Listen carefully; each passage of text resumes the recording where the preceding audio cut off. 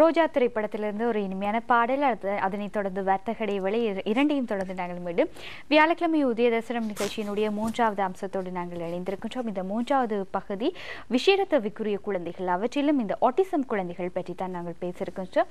ஆகவே இவை தொடர்பிலான விளக்கங்களை உங்களோடு பகிர்ந்து கொள்வதற்காக இந்த வழியில் எங்களோடு இணைந்திருக்கின்றார் ஐக்கிய நாடுகள் சபையினால் வழங்கப்படும் உயரிய விருதாகிய வி விருது வெற்றியாளர் ஒசில்மா ஆட்டிசம் சென்டரின் ஸ்தாபகருமாகிய டாக்டர் சின்னையா தேவானந்தன் அவர்கள் இணைந்திருக்கின்றார். வணக்கம் டாக்டர். டாக்டர் இப்போ வந்து இன்றைய நிகழ்ச்சியில் நாங்கள் இந்த அம்சத்தினூடாக ஆட்டிசம் குழந்தைகள் பற்றி தான் நாங்கள் பேசியிருக்கிறோம். இப்போ வந்து நிறைய நிகழ்ச்சிகளில் நாங்கள் பேசியிருக்கிறோம் ஆட்டிசம் பற்றி. இந்த பரவலாக நான் நினைக்கிறேன் பெரும் ஒரு எழுபத்தைந்து வீதமான விடயங்கள் நாங்கள் பேசியிருக்கிறோம் அப்படின்னு நான் நினைக்கிறேன். இருந்தாலும் கூட டாக்டர் இப்படியான நிறைய விஷயங்கள் நாங்கள் பேசுறது பேசுகிறதால இப்போ அடிப்படையில் ஒரு சில பெற்றோர்களுக்கு நிறைய சந்தேகங்கள்.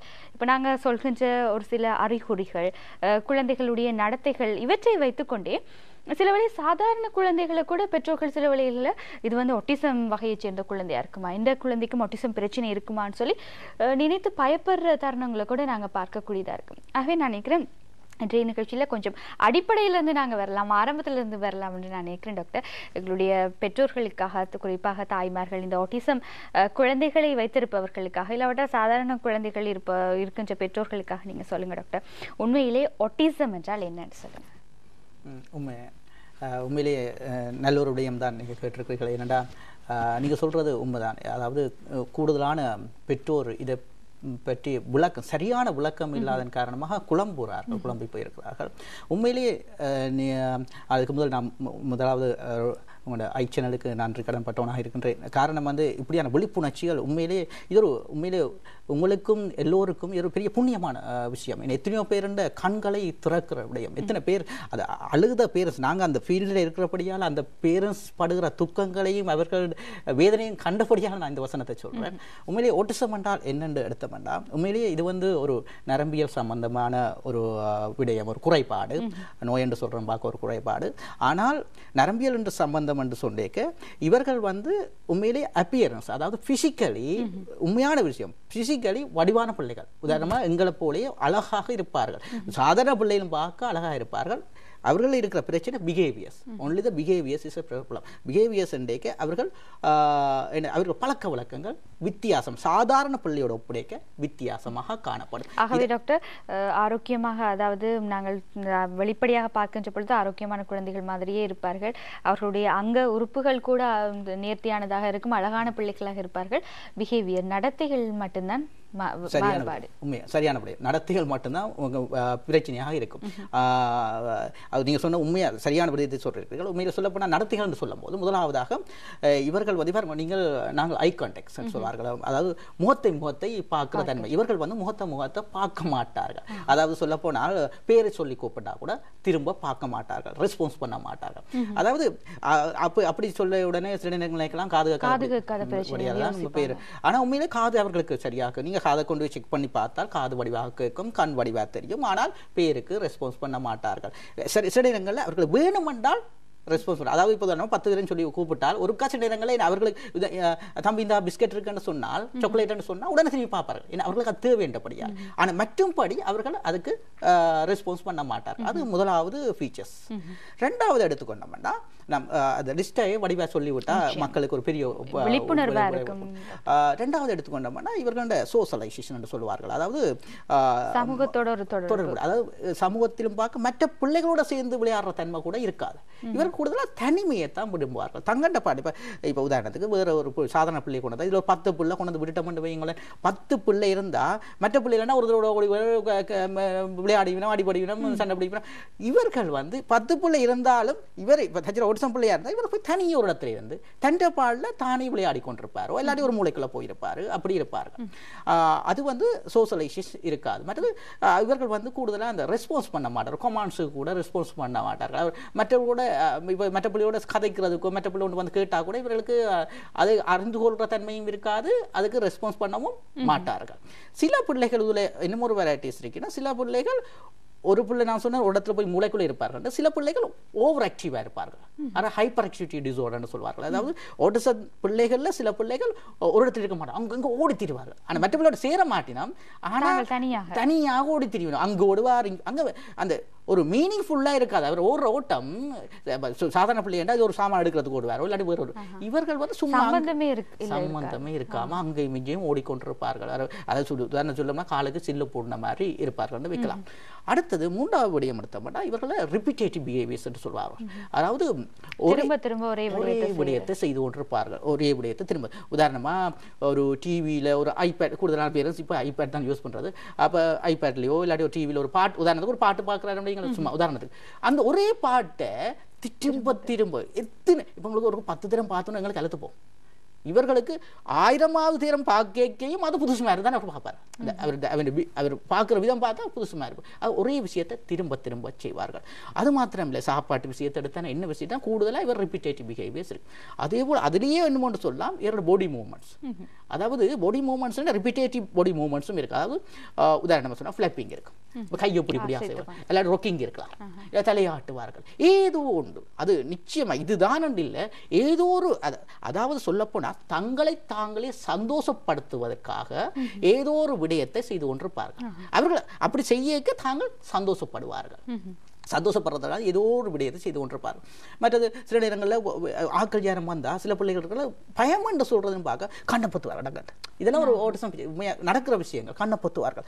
அது அது ஆக்களை பார்க்க விருப்பம் இல்லை. இல்லாட்டி ஒரு மூளைக்குள்ள போய் ஒளிஞ்சிடுவார்கள். சில பிள்ளைங்கள்ட்ட ஒரு பிள்ளை இருந்தால் வீட்டு யாரும் விசிட்டர்ஸ் பார்த்தா பெட்டுக்குள்ள போய் பூந்து தலைவாணியில் மூடிக்கொண்டே படுத்துடுவார் பிள்ளை அப்படியான பிள்ளைகள் கூட இருக்கணும் மற்றது இவ இந்த பிள்ளைகள் எடுத்துக்க அடுத்த அடுத்த ஃபீச்சர்ஸ் எடுத்துக்க மாட்டா இவர்கள் வந்து தேவையில்லாமல் இந்த இந்த இதில் ஒரு இதுல ஒரு விஷுவல் பாருங்க. இந்த பிள்ளையை பாருங்க அந்த காரை வந்து பாருங்க நேர் அடிக்கி போட்டு இருக்கிறார் அதை இவர்கள் வந்து ஒவ்வொரு விளையாட்டு சாமானையும் என்னத்தை கொடுத்தாலும் ஒன்றில் இப்படி நேருக்கு அடுக்குவார்கள் அல்லது நிலைக்குத்தாக அடுக்குவார்கள்.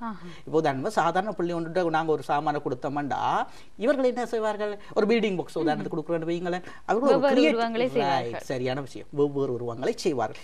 இந்த பிள்ளைகள் கொடுத்தால் ஒன்றில் நேராக. நேராக அல்லது நிலைக்குத்தாக அடுக்குவார்கள். இதே ஒரு பாருங்க இதுல பாருங்க வந்து பாத்தீங்களா? இந்த காத புத்திர இது ஒரு நல்ல ஃபீச்சர்ஸ் ஓட்டிசம் பிள்ளைகள் கூடுதலா இந்த ஓட்டிசம் பிள்ளைகள் வந்து என்ன பெரிய சவுண்ட் கிடைச்சு அதாவது பெரிய சத்தங்களுக்கு டக்குன்னு காதை பொத்துவார்கள் அல்லாட்டி போனா ஆ, பாருங்க கண்ணை பொத்துறது நான் முதல்ல சொன்னேன். அடுத்தது பாருங்க இது வாய்க்குள்ள வைக்கிறது. அதாவது இவர்கள் கூடுதலான பிள்ளைகள் இருக்கிறார்கள். என்ன சாமான் எடுத்தாலும் விளையாட்டு சாமான் விளையாட தெரியாது. டக்குன்னு எடுத்தோன்னே வாய்க்குள்ள வச்சிருவார்கள். அதாவது இனம் காண தெரியாத எண்ணத்தையும் வாய்க்குல வைக்கிற பி- அதுக்கான எல்லா பிள்ளைகளும் அப்படி செய்வார்கள்னு நான் சொல்லல. இப்படியான ஃபீச்சர்ஸ் இருக்கலாம். அதாவது நீங்க சொன்ன விடயங்கள ஒட்டிசம் சார்ந்த பிள்ளைகளுக்கு ஏதோ ஒரு ஒரு விடயம் இருக்கலாம். ஒரு விஷயம் இல்லை. எத்தனையோ விஷயங்கள். இதுல நான் சொல்லிக்கொண்டு வாதல கன விஷயங்கள் இருக்கும். சில ஒரு விடயம் இருக்கு. உதாரணமா இவர்கள் கதை எடுத்தோம் அவர் கண்ணை பொத்துறது காட்டினால் சொன்னான் மற்ற கதை எடுத்துக்கொண்டோம்டா இந்த ஓட்டிசம் பிள்ளைகள் கதைப்பார்கள். முதல்ல ஒரு ஒரு வயசு ஒன்றரை வயசு வரைக்கும் கதை வரும். வந்த கதை ஒன்றரை ரெண்டு வயசு வரைக்கும் அப்படியே சடன் ஸ்டாப் அடுத்து ஸ்டாப் பண்ணா ஊமையாக்கி விடுவார்ன்றே சொல்லலாம். வந்த கதையை கதைக்காம விட்டுருவார்கள் அப்ப இது ஓட்டிசம் ஃபீச்சர்ஸ் ஆனா சில பிள்ளைகள் இருக்கிறார்கள் கதைக்காமல கொஞ்சம் டிலேயா கதைக்கிற பிள்ளைகள். அதுல அதை சொல்ற ஸ்பீச் டிலேன்னு சொல்லி. அதான் இப்ப நீங்க கேட்டீங்க முதல்ல பேரண்ட்ஸ் வந்து குழம்புறாங்க. இப்ப சில பிள்ளை ஓட்டிசமா இருக்காது. அவன் சாதாரணமே அந்த பிள்ளை கதைக்கிறது பிந்தி கதைக்க தொடங்கலாம். அதுக்காண்டி அந்த புள்ள ஓட்டிசம் நாங்க கொண்டு போய்க்கலாம் அப்போ கதை கதையை மட்டும் வச்சுக்கொண்டு இந்த புள்ள ஓட்டிசம் நாங்க கண்டு அறிய இயலாது.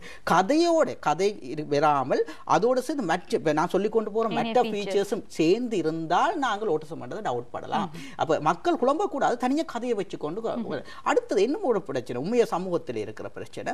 சின்ன வயசு இப்போ உதாரணமா ஆஹ், ஒரு ஒன்றரை வயசு ரெண்டு வயசு வரைக்கும் நீங்க ஓரளவுக்கு பிள்ளைன்ற ஃபீச்சர்ஸை கண்டுபிடிக்கலாம். அவருக்கு அந்த மற்ற பிள்ளைகளோட பிள்ளைக்கு மாற்றங்கள் இருக்கும். ஆனா சில பேரண்ட்ஸ்க்கு உண்மையா எனக்கு நடந்த விஷயங்கள் ஆறு மாசத்துல ஒரு அன்றைக்கு ஒரு தகப்பன் கால் பண்றார் இந்த பிள்ளை மூத்த பார்க்கறதுல ஓட்டிசமா இருக்குமான்னு சொல்லி. ஆனா ஆறு மாசத்துல ஒரு பிள்ளையை நாங்க ஓட்டிசம் வந்து டயக்னோஸ் பண்ண இயலாது. ஆகவே உண்மையிலேயே ரெண்டு வயசு வந்த உடனே டயக்னோஸ் பண்ணலாம். ஆனா நாங்க ஒன்றரை வயசு வரைக்கும் ஒன்று ஒன்றரை வயசு ரெண்டு வயசு வரைக்கும் ப்ரீ டயக்னோசிஸ் என்று சொல்லுவார்கள். அதாவது இப்படியா இருக்குமோன்ட்டு நாங்க ஒரு முன்கூட்டியே. சஸ்பெக்ட் ஓ சஸ்பெக்ட் பண்ணலாம். சஸ்பெக்ட் பண்ணி அதுக்குரிய தகுந்த வழிகளை தேடலாம். தேடுறது பிழை இல்லை. ஆனா ரெண்டு மூன்று ரெண்டு மூன்று ரெண்டு between two to three years என்று சொல்வார். அந்த வயசுல கட்ட நிச்சயமா டயக்னோஸ் பண்ணலாம். அதுக்கிடையில டயக்னோஸ் பண்ணி அதுக்குரிய சவுந்த வழியை அந்த நேரமே தேடிட ஓடும். அதை விட்டு போட்டு சீச்சி போ போ சரி வருமன்ட்டு விடுற வேலையில் வைக்கக்கூடாது. டாக்டர் இப்போ வந்து நிறைய அறிகுறிகள் வந்து சொல்லியிருக்கிறீங்க. நீங்க ஃபீச்சர்ஸ் சொல்லியிருக்கிறீங்க. இந்த மாதிரி பார்க்குற நேரத்தில் இப்போ சாப்பிட்றதுல கூட அவங்களுக்கு ஏதாவது பிரச்சனை ஏற்படுமா டாக்டர்? நிச்சயமா. சாப்பிட்ற கூட இப்போ அது நான் சொன்னேன் முதல்ல ரிப்பீட்டேட்டிவ் பிஹேவியர்ஸ் அது சாப்பாடும் அதுக்குள்ள வர வரலாம் அதாவது இவர்கள் சாப்பாடுகளை வெறுக்கிற தன்மையும் வெறுக்கிற தன்மை என்றாலும் பார்க்க இவர்கள் தங்களுக்கு விரும்பின சாப்பாட்டை தான் செலக்ட் பண்ணுவார்கள்.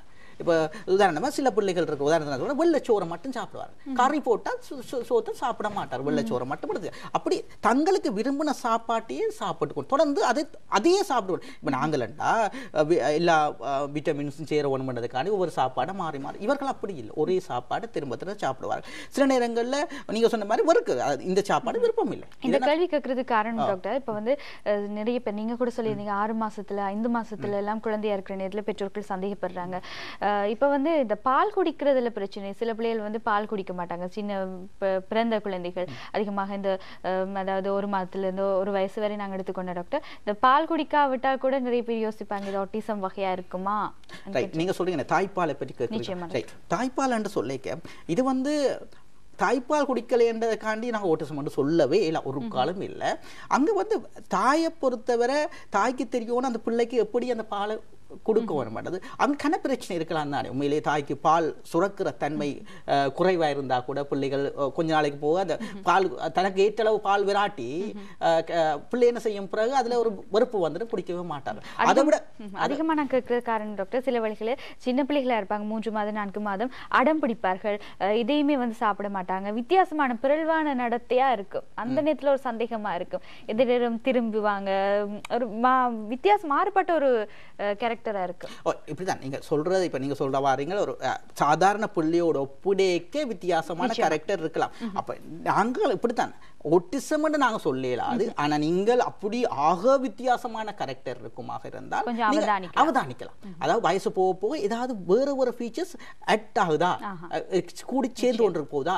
ரெண்டதை நீங்க அவதானிச்சீங்களா நீங்க உண்மையிலேயே சொன்னோம்னா ஒரு ஒன்று ஒன்றரை வயசு வரைக்கும் நீங்க ஒரு இலகுவா இனம் கண்டு இலகுவா இனம் கண்டுகொள்ளலாம் அதான் சொல்ல இது வந்து உண்மையில மக்களை பொறுத்தவரை மக்கள் தெரிஞ்சிருந்தாலே ஓட்டிசத்தின் ஃபீச்சர்ஸை டாக்டர்ஸ்கிட்ட போக போக வேணும். அதுக்காக போக வேண்டிய அவசியம் முதலாவது அவர்களே ஒரு ஒரு கொன்க்ளூஷனுக்கு வரலாம் இது அந்த பிள்ளைக்கு ஓட்டிசத்துக்குரிய ஃபீச்சர்ஸ் இருக்குன்னு சொல்லி. விளங்குதா? ஆகவே நீங்க சொன்ன மாதிரி சின்ன வயசுல பால் குடிக்காத பிரச்சனை வந்து ஒட்டிசம்னு நான் சொல்ல மாட்டேன். பட் அதுக்கும் ஒரு நாங்க ஒரு டவுட் படலாம் படையலாண்டும் இல்லை. மற்றது இந்த பிள்ளைகள் எடுத்துக்கோனா தேவையில்லாம சிரிப்பார்கள். சில நேரங்கள் திடீரென்று இந்த பிள்ளைகள் சிரிப்பார்கள். அழுது கொண்டிருப்பான் திடீரென்று அழுவார்கள். அங்க அழுகிறதுக்கோ சிரிக்கிறதுக்கு அங்க காரணங்கள் இருக்காது. எல்லாம் நான் முதல் சொன்ன பாருங்க நேருக்கு தேவையில்லாம சிரிப்பார்கள் தேவையில்லாம அழுவார்கள். மற்றது வந்து இவர்கள் இது வந்து இந்த பாருங்க காதை பொறுத்த பாருங்க இந்த பாருங்க இவர்கள் வந்து சில நேரங்கள் அந்த சரியான ஸ்டபன் மேரி என்ன சொல்றது? நீங்க இப்ப சொன்னீங்களே சின்ன பிள்ளையிலே இதுன்னு பாருங்க சொல்வழியே கேட்க சொல்வழியே கேட்க அது வந்து சில நேரங்களில் ஹைப்பர் ஆக்டிவிட்டி ஃபீச்சர்ஸாகவும் இருக்கலாம். அதாவது சொல்றது ஏடிஹெச்டின்னு சொல்லுவார்கள். Attention deficit hyperactivity disorder அதாவது அவதான குறைவான மிகவும் சுறுசுறுப்பான பிள்ளைகளாக கூட இருக்கலாம். பாருங்க இந்த பிள்ளையெல்லாம் வந்து ஹைப்பர் ஆக்டிவிட்டி ஃபீச்சர்ஸோட சம்பந்தப்படும் பாருங்க அந்த ஏறி நிற்கிறார் எவ்வளவு பேலன்ஸ் பாருங்க. கை கால் பிடிக்கவே இல்லை. காதை பொத்தி கொண்டு. இருக்கிறார் இந்த காதை பொத்துறதெல்லாம் ஒரு முக்கியமான ஃபீச்சர் இப்படி மட்டுமண்டில்ல சில விரல்களால கூட காதை பொத்துவார்கள். பாருங்க இந்த பிள்ளைய பாருங்க. அந்த பாருங்க பென்சில் பிடிக்கிற விதத்தை பார்த்தீர்களா அந்த சாதாரண கையை அப்படியே கூம்பி தான் பிடிச்சு கொண்டிருக்கிறா அப்ப ஆனா வடிவா எல்லாம் எழுதுவீனா பிடிக்கிறது வந்து இப்படித்தான் பிடிச்சு கொண்டிருவார்கள் அப்ப நான் சொன்னேன் அழுவார்கள் சில நேரங்கள்ல சில நேரங்கள்ல திடீரென்று அழுத போல திடீரென்று சிரிப்பார்கள். இது ஒரு ஆட்டிசத்துக்குரிய ஃபீச்சர்ஸ் இப்படி எத்தனையோ ஃபீச்சர்ஸ் கன ஃபீச்சர் அப்ப நாங்க வெரி இம்பார்ட்டன்ட் ஒரு ஃபீச்சர்ஸை வச்சுக்கொண்டு பெற்றோர் வந்து குழம்பக்கூடாது எந்த பிள்ளைக்கு ஓட்டசமா இருக்குமோன்னு சொல்லி. அப்ப நீங்க மற்றதையும் அவதானிச்சு எல்லாம் சேர்ந்து உண்டா வருமாக இருந்தால் நீங்க பிறகு ஒரு தகுந்த இடத்தை நாடி தகுந்த விஷயத்தை நாடி அதுக்குரிய வழியை தேடிக்கொள்ளலாம். இது முக்கியமா ஆஹ் பார்த்து கொண்டிருக்கிற எல்லாரும் தெரிஞ்சிருக்க வேண்டிய விஷயம். ஏன்னா எல்லாரும் குழம்புறார்கள். மற்றது மற்றொரு விஷயம் சில டவுன் சிண்ட்ரோம் என்ற பிள்ளைகள் இருக்கிறார்கள். அதை சொல்ல டவுன் சிண்ட்ரோம் பிள்ளைகள். அவர்கள் அவர்களோட முகத்திலேயோ அதை- அதை பிசிக்கலி உருவ அமைப்புல வந்து அமைப்புல வந்து அவர்களை இனம் கண்டு கொள்ளலாம். சில பேர் சில பேரண்ட்ஸ் வந்து டவுன் சிண்ட்ரத்தோட ஓட்டிசத்தை கம்பியா பண்ணி கொள்றார்கள் அதாவது குழப்பிக் கொள்றார் அது வேற இது வேற.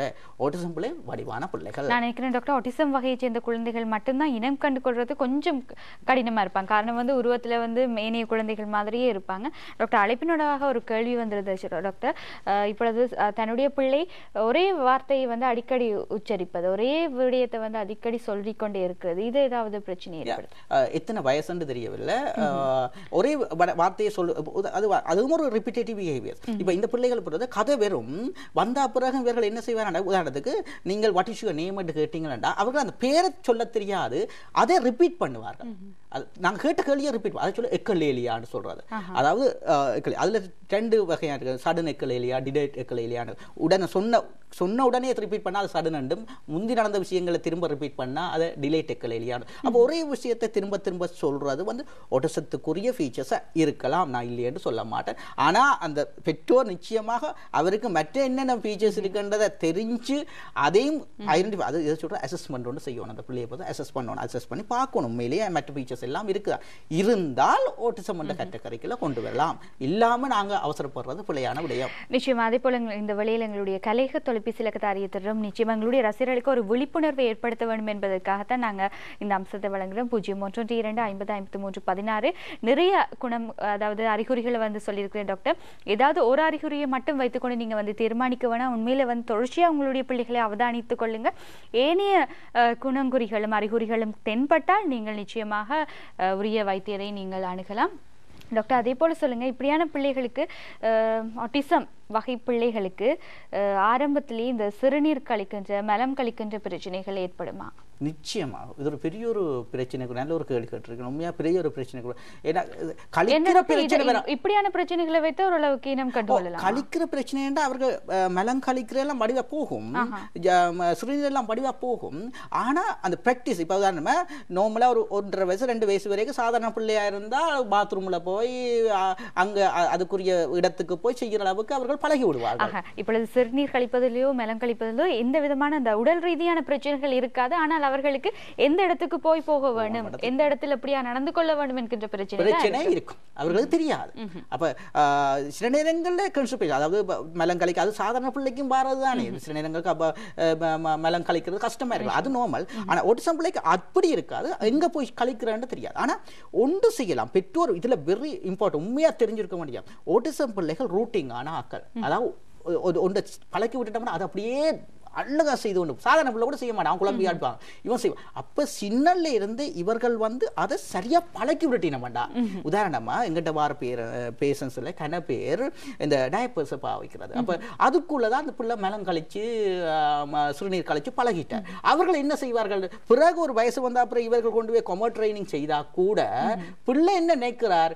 இதுக்குள்ளதான் அதை செய்யணும்ன்றது பழகி விட்டுரும் பழகின உடனே அதையே திரும்ப திரும்ப. ஆகவே சின்ன வயசுலயே அதற்குரிய தகுந்த இடங்களை தேர்ந்தெடுத்து தகுந்த விதத்துல அந்த பிள்ளைகளுக்கு பழக்கிடுங்க.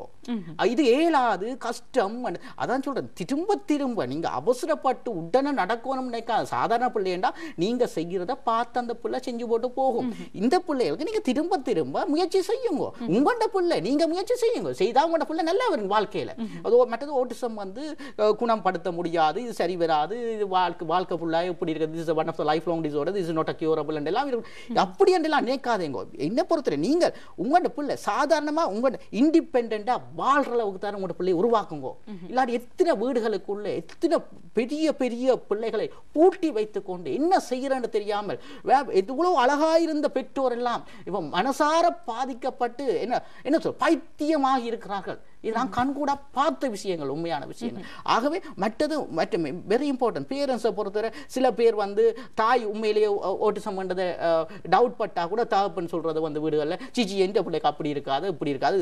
முதலாவது ஒழிக்காது சமூகத்துக்காக பயப்படுறாங்க. சமூகத்துக்கு பயப்படுற பயப்படுறது உண்டு. அடுத்தது வந்து சி இப்படி இருக்காது. சி அதெல்லாம் ஒன்றும் இல்லை. கௌரவத்துக்கு ஒரு நினைக்கிறாங்க. இது களங்கம் இல்ல இதுல ஒரு கலங்கம் இல்லை இது ஏன் ஏன் ஓடிசம் பிள்ளை ஏன் பிறக்கிறாருன்ற கூடிய சரியான காரணமே இது வரைக்கும் யாருக்கு? அப்ப யாருக்கும் பிறக்கலாம்? உங்களுக்கும் பிறக்கலாம் எனக்கும் பிறக்கலாம் யாருக்கும் பிறக்கலாம். அப்ப இதுல இது ஒழிக்க வேண்டிய அவசியமோ கவலைப்பட வேண்டிய அவசியம் இல்லை. முதலாவது நீங்க அக்செப்ட் பண்ண அஹ், உண்ணுங்க அக்செப்ட் அதாவது முதலாவது அப்படி செஞ்சா தானே நீங்க அதுக்குரிய தகுந்த வழியை தேடுவீங்க. அதை செய்யாம நீங்க பயந்து பயந்து ஒளிச்சு ஒளிச்சு வச்சிருந்து என்ன செய்ய போறீங்க சொல்லுங்க அப்போ. நிச்சயமா டாக்டர் நிறைய நல்ல பயனுள்ள விடயங்களை வந்து சொல்லியிருக்கிறீங்க. மேலதிகமாக விவரங்கள் உங்களுக்கு தேவைப்படுற நேரத்தில் இணையதள முகவரியும் அறிய தர்றேன். W W W dot osilmo dot com W W W dot O S I L M O dot com என்கின்ற இணையதளத்தினூடாக நீங்கள் இணைந்து கொள்ளலாம். W W W dot osilmo dot com என்கின்ற இணையதளத்தினூடாக இணைந்து கொள்ளலாம். இந்த வழியில் எங்களோடு இணைந்து கொண்டிருந்தவர் டாக்டர் சின்னையா தேவானந்தன் அவர்களுக்கு இந்த வழியில் நாங்கள் நன்றிகளை தெரிவித்துக் கொள்கின்றோம். இணைந்து கொண்டு மிக்க நன்றி டாக்டர்.